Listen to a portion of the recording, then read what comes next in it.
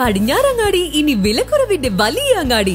Almiya hypermarket and electronics Padinjarangadi. Pattambi നഗരസഭ ആരോഗ്യ വിഭാഗവും ഭക്ഷ്യസുരക്ഷാ വകുപ്പും സംയുക്തമായി നടത്തിയ പരിശോധനയിൽ പട്ടാമ്പി മത്സ്യമാർക്കറ്റിൽ നിന്ന് പഴകിയ മത്സ്യം പിടികൂടി. പട്ടാമ്പി മത്സ്യമാർക്കറ്റിൽ നടത്തിയ മിന്നൽ പരിശോധനയിലാണ് പഴകിയ മത്സ്യം പിടികൂടിയത്. പാലക്കാട് മലപ്പുറം തൃശൂർ ജില്ലകളിലെ വിവിധ ഭാഗങ്ങളിലേക്കും മറ്റു സംസ്ഥാനങ്ങളിലേക്കും പട്ടാമ്പി മാർക്കറ്റിൽ നിന്ന് മത്സ്യം കൊണ്ടുപോകാറുണ്ട്. രണ്ട് പെട്ടിയോളം വിവിധ ഇനം പഴകിയ മത്സ്യങ്ങളാണ് കണ്ടെടുത്തത്.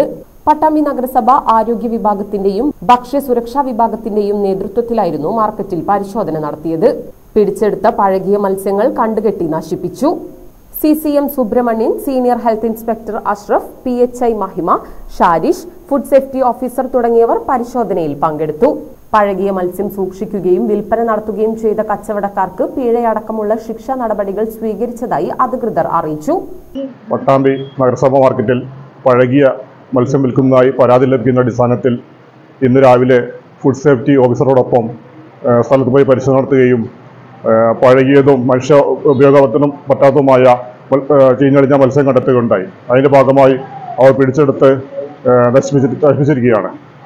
അവർക്ക് കർശന പിഴ ചുമത്തി ചുമ ചുമത്തുകയും തുടർ നടപടി സ്വീകരിക്കുന്നതാണ് ഇനിയും ഇതേപോലുള്ള പരിശോധനകൾ തുടരുകയും കർശന നടപടികൾ സ്വീകരിക്കുന്നതുമാണ് പിടിച്ചെടുത്ത് രണ്ട് കച്ചവടക്കാരിൽ നിന്നാണ് പിടിച്ചെടുത്തിട്ടുള്ളത്.